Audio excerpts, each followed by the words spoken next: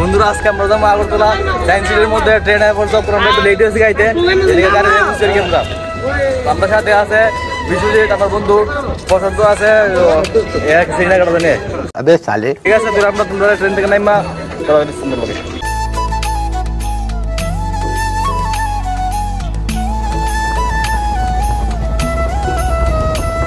আমরা বুঝছি বাজার স্টেশনের মধ্যে।